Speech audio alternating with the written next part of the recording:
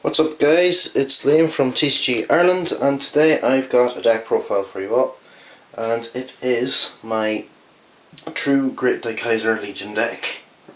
Uh, I got it there, got everything together there at the weekend so I'm just recording it today. It is Tuesday or Wednesday today and uh, yeah, so it's probably not everybody's optimal build. It doesn't have Stride yet because the extra booster for Dimension Police isn't out and Harmonics Messiah is quite expensive so I can't get him yet.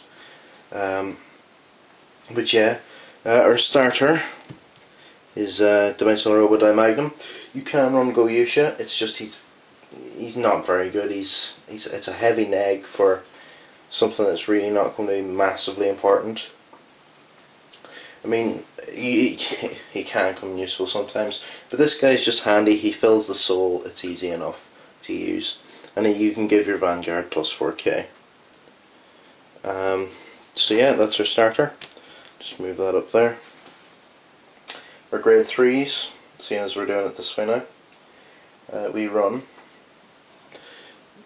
uh, 3 uh, true true ultimate dimensional robo great Daikaiser. Uh, if you don't know skill, he's Legion 22k, he's the first Legion 22k unit. We've got new Legions with Great Daiyusha. And his continued effect is during your turn, if this unit is in Legion, if the number of cards with Dimensional Robo in your soul is 3 or more, uh, this unit gets a crit.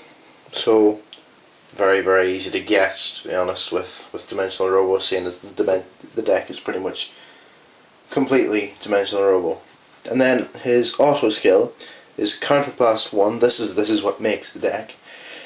Uh, Counterblast 1, when this unit unit's drive check reveals a grade 3 card, um, and your Legion mate's critical is 2 or more, which is going to happen, obviously. Um, you may pay the cost if you do, which is Counterblast 1. Uh, you may choose your one of your opponent's guardians and retire it, and it also kills pop, Pop's perfect guards. So, then, what happens is, he I then have three of his mate, which is Great Daiyusha. Uh, he's quite expensive now, but I had three for ages and ages, so I thought I may, as, you know, um, had him when he was quite cheap. Uh, had had him since BT08 actually as well to be fair. Um, he, he, his skill, if you're forced to ride him, is limit break 4. Uh, during your turn, if the number of um, Dimensional Robo in your soul is 3 or more, it gets 2 kind of crit.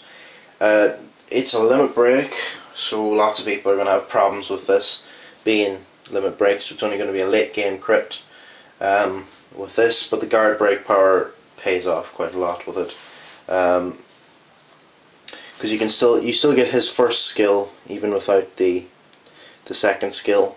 But um, I have a card that does help for that. So and he gets he's a cross ride gets 2k if there's another uh, if there's Dayush in the soil which I don't run in this deck. But um, it's not for it's it doesn't affect defense because this is your main grade 3 on the Vanguard circle. And if we're attacking, yes, it would it would make it would push every, it would push everything to 24, and it gets minus 2k if there's no uh, dimension police. If you've got a dimension police, non-dimension police vanguard or rearguard, so that's that's a little bit of a downside. But I don't run anything different in the deck. It's not extreme format. I then run uh, four Super Dimensional Robo Daikaiser. He's the break ride for this deck. Um, I've said before how break rides don't work, well this one does because you can practically rush yourself to 4 damage and win on that turn provided you are prepared enough and you haven't like spent all your grade 3s.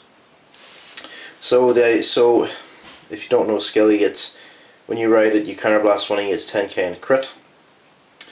Your Vanguard gets 10k in crit and it gets the perfect card popping ability that has become that's made this clan quite famous now. And he gets 2k when he's boosted. He, uh, if you break ride and then you legion, you've wasted 3 grade 3s already, but I have, there's 10 grade 3s in this deck for a reason. So when you break ride, um, if you happen to get a grade 3, because his skill is activated, it's an auto. It kills that. It kills a guardian, and then if you want to do it, if if he's got more than one guardian, let's say he guard he overguarded by so much, you know, you can you can you basically kill two um, guardians. So let's say perfect guard splice and you check one grade three, one is all you need. You can kill two guardians for a counter blast of two. So it's it's it's a pretty brilliant skill, and yeah, uh, I'll be I'll do an update video with this deck whenever we've got um, Cosmic Roar coming out in English because I'll have the limit break enabler. It'll makes it makes it even better. You can kill people from when you're sitting at like two damage. So yeah, uh, that's the grade threes. We then have grade twos now, and that's we've got four. Uh, Daidragon, he's the 12k attacker. Um, obviously, you need him in this deck because uh, he's he, he's 12k attacker for Dimensional Robo Vanguard, and yeah, uh, one of them's double rare because I don't have the rest in double rare. They're trial decks. Then we've got three Kaizard. Um, he gets five when another dimensional police rides in this unit. Choose your Vanguard. Gets 5k. It's an ex. It was excellent in my previous version of this deck. Um, at the minute, he just sits as making your grade three Vanguard, 16k, which is still quite good because if you think about it, if you don't have something in the rear, an 11k attack isn't swing isn't uh, hitting anything because it'll just 10k two pass it but with the 16 it makes it you know difficult, more difficult to guard. It's just that little bit of pressure mid-game when you've ridden grade 3. Then we have three-dimensional Robo Daifighter, um, the 10k attacker. I was contemplating running Die Barrett. everybody runs Die Barrett. He's good for what he does, but the only thing is you have to choose something else and himself and you you neg yourself in order to get an effect that it's like draw a card or something like that. I mean it's it's not that important really and it fills the soul sure but if you've got your grade 0, your grade 1, your grade 2 that's 3 then you get a break ride that's 4 you know that's the you, you know it's it's really difficult to not get three in the soul for dimensional robos. Unless they retire the grade zero, you can you still have an extra grade three to play with. So that's our grade twos. Then our grade ones, uh, which is where it's a little bit more difficult to work with. Those ten grade twos, by the way, uh, in order to make space for the grade threes. We have four dimensional robo Daishield. Or no, we've got one, and then four diamond, three diamond ace. Um, just haven't gotten around to it. He's an expensive card, so I don't have him. Um, does the same job anyway. It's not a big deal. Then I've got three Daibrave.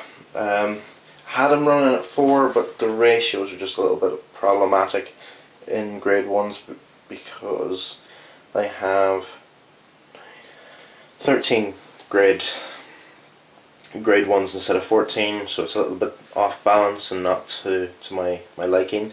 But at the same time good card.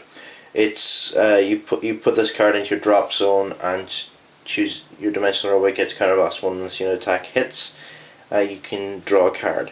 So it's it's a it's a good card not gonna lie. Um, he's kind of like you know if, if your opponent if you're at grade 3 you can soul blast it out you know if you've got enough in the soul obviously. And it it gives it, it also fills the drop zone a bit if you want to just throw back dead cards. And yeah. The draw card adds pressure for your Kaizard turn. You know it's good good good. Um, would run 4 but then it screws up the other ratios in this grade 1 lineup. I have 3 dimensional robo Daitiger uh, 10k attacker 4 dimensional robo I then run two Commander Laurel. I would run three, but I don't have three, and he's a $20 card now.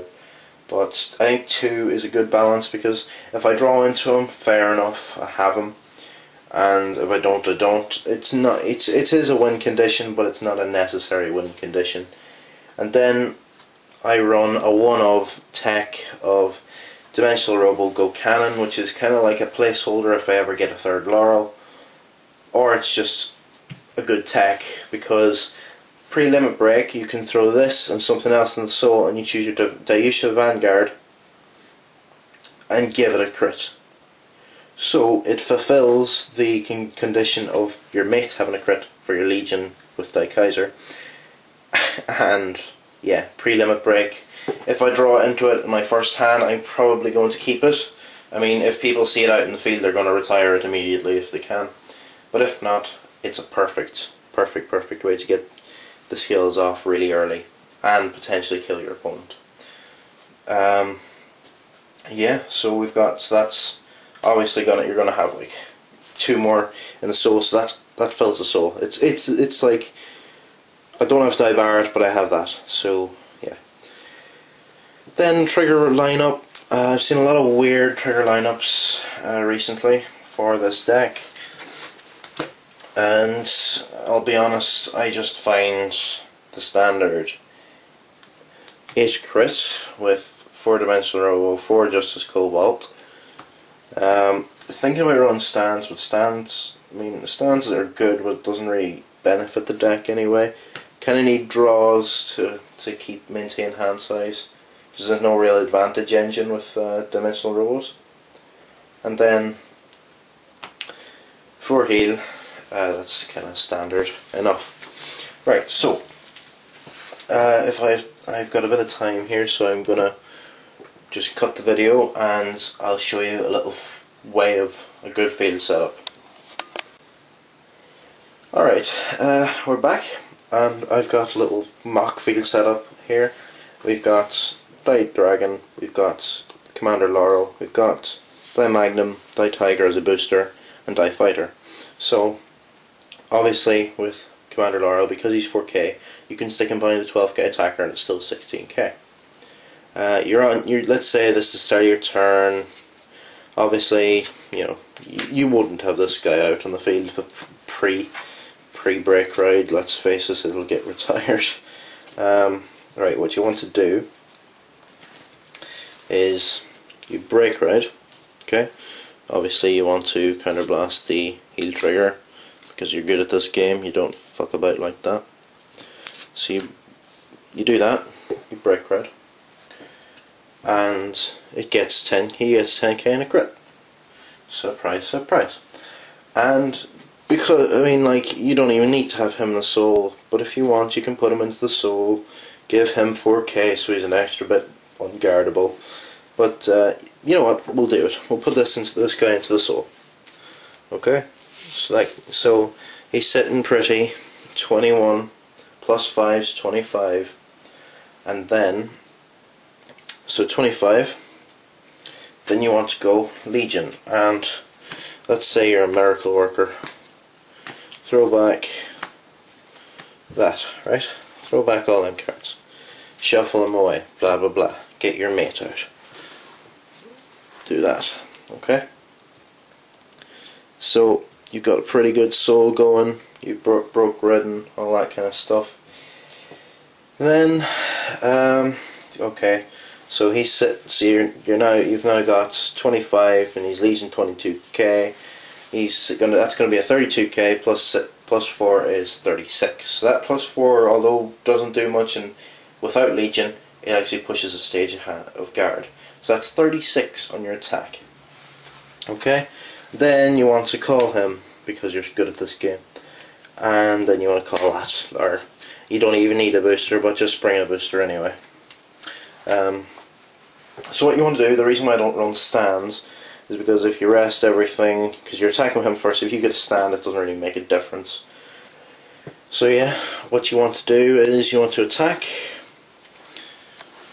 Obviously, uh, you can do it whatever way you like, I do it this, this way. So you attack like that, so you're attacking for, so 22 plus 10 is 32, plus 4 is 36, plus the boost is 33, or 43, sorry.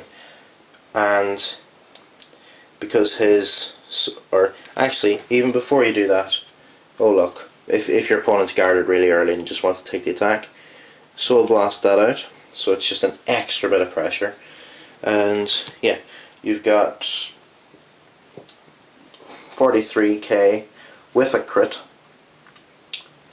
and let's let's say the perfect guard it twice, uh, and you you drive check a grade three because you're good at this game. You can counterblast one, and the perfect guard it twice, you can nullify both those effects.